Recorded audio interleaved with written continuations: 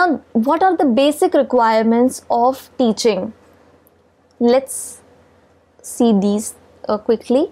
Um, there's nothing great deal about the basic requirements of teaching. It is only that these theoretical concepts are going to be really uh, great um, if you if you understand it at the understanding level and reflective level they are going to work wonders for you all um, while attempting the questions for teaching aptitude.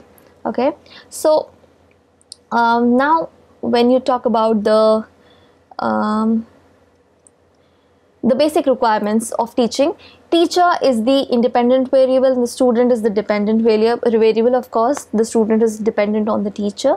Then the intervening variables uh, uh, such as teaching tools are also the basic requirements. So teaching tools have to be there. There has to be some basic requirement. For example right now i have the pen tab i have the stylus. So this is my uh, i have the powerpoint presentation. So this is my basic requirement of the teaching. These are my teaching tools. What are the teaching tools that are there present in the school? There's smart board there's green board there's whiteboard there's marker duster. There are different types of audio and visuals.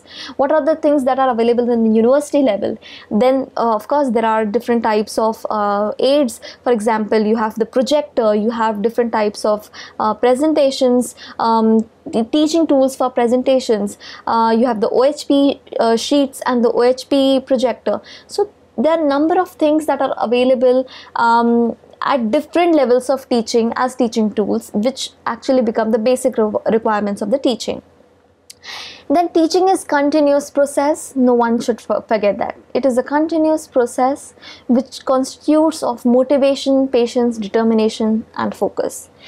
The learning uh, as understood becomes the most difficult process but teaching is further more difficult and complex because it deals with a lot of complexities dynamism uh, especially while teaching the students of all kinds. There is a dynamic change in the behavior of the students and you have to gear up with all the types of behavior and still strive to teach the content without wavering. This is what is the essence of teaching then interest in discipline of students to learn and of a teacher to teach. Interest being the major factor. Interest actually is a major major factor which uh, becomes um, you know uh, a cornerstone of uh, teaching and learning process then classroom activities which help to retain the information for longer period of time.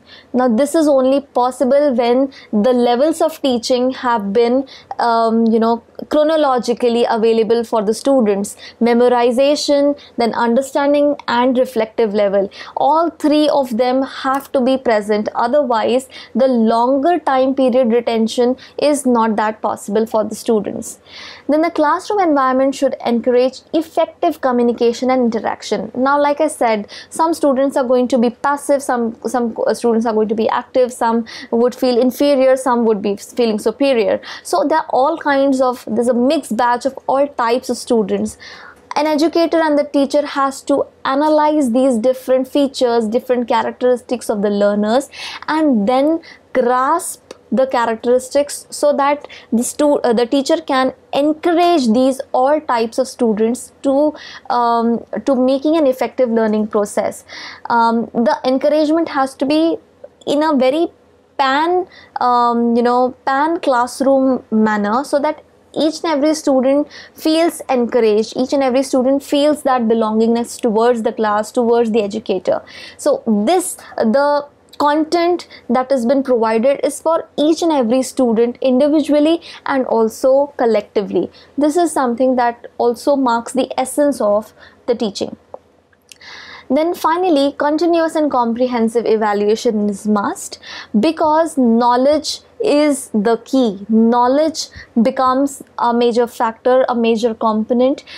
Uh, continuous information or continuous upgradation of knowledge is required for both the teacher as well as the student. If the teacher does not continuously upgrade uh, the teachings or the process then the teaching can be redundant the teaching can be uh, you know boring and the teaching can also be ineffective because it becomes stagnant. But and in the same way if the learner does not show interest in continuously uh, you know feeling motivated continuously um, you know uh, learning newer skills then there would be a major gap between the teaching and the learning process. So to curtail that knowledge becomes the key and continuous and comprehensive evaluation becomes the essential part of teaching process we have the principles of teaching. What are the principles of teaching? There are variety of principles. For example, the first one is of course the interest to teach selection of adequate material adequate content uh, to teach you can as an educator you can give a pile of you know publications articles journals to the student and say okay fine now learn but this is not going to ensure learning. So selection of the material from where the educator wants the student to understand the material grasp the grasp the material and content is very important. Selection. Planning. Planning of the syllabus planning of the curriculum is of utmost importance. If the educator starts from unit 7 and then goes back to unit 8 and then 2 4 then 3 then 2 and 1 so this is a haphazard manner. Why did the educator select unit 7 at the first? If that unit 7 is so important to be taught first, then why is it not unit 1? So this everything actually um, the curriculum designing, the syllabus designing is in the hands of the educator and that is why this is also one of the major principles that planning the class planning the syllabus for the classroom is of utmost importance. Then division. Now division of uh, you know labor as henry fayol's famous principle uh, is also important here as well. Division of you know uh, the syllabus into different chunks um, dividing the work or dividing the syllabus into different parts so that it is much easier for the educator to comprehend and much easier for the learner to actually understand the concepts in the divided format. So division is also important. Revision again keeping on the revision process the revision process becomes again a necessary one to um, enhance the learning enhance the nurturing of students. Motivation. Motivation again plays a huge part. Uh, learning uh, becomes can become stagnant and boring. But motivating students uh, and telling them that this is the journey that they have to cross. This is the journey that they have to go through. And only by going through can they find the ultimate output so this kind of motivation is also very important to impart. Recreation of different concepts different ideas you know doing some kind of classroom activity in a much fun manner. Recreation or recreative activities are a must for any type of classroom, any type of teaching. This is uh, one of the major principles. So it can start from a small anecdote, it can be, uh, you know, some kind of recital, it can be some kind of reviewing, it can be some kind of discussion in a very candid manner so that there is a healthy relationship um, or belongingness established between the educator and the students which actually becomes the essence of classroom teaching.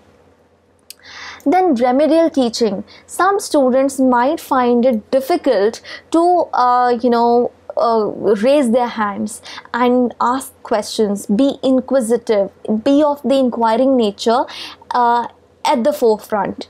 They might have a lot of doubts. They might have a lot of confusions. So uh, the principle of teaching also uh, you know analyzes this part of learning process uh, and sometimes the abilities or capabilities of the students do not match. So the it is sole responsibility of the educator to analyze to comprehend this particular fact in the classroom and to provide for remedial teaching to provide for remedial assistance to such students who are uh, who require some time uh, some uh, some time uh, some conceptual learning some type of um, uh, some type of help.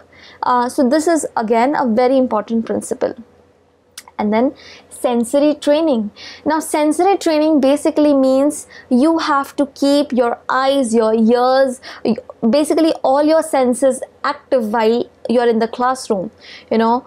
Um, so there's so many activities that are nowadays done in a, uh, in a classroom activity. For example there'll be testing uh, of the sensory nerves. So uh, they'll they'll play a catch catch and throw the ball game so uh, the students have to you know solve a particular question solve a particular problem let's say solve a particular mathematical problem while uh, you know uh, playing that catch and throw uh, game.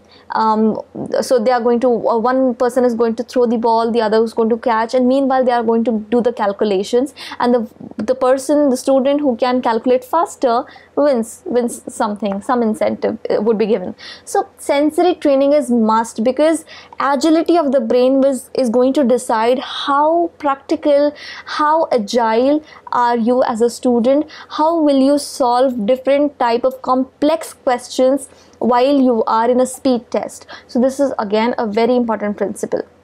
Then, sympathy.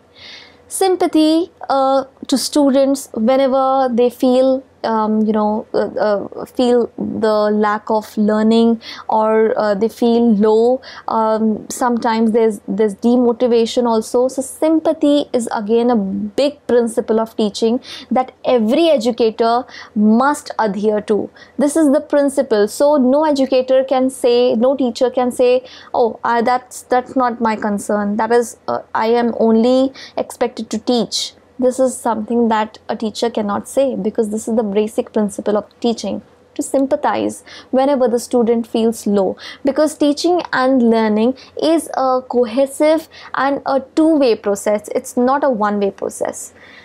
Then you have creativity every time that you enter a classroom every time there's uh, this teaching happening teaching methodology may change. There uh, every time the educator would want to you know um, narrate or want to discuss or inform the students the ways can change the methodologies can change so that the the learners are glued to the concept. The learners are willing to listen to you. This is something which is creativity. And finally reinforcement.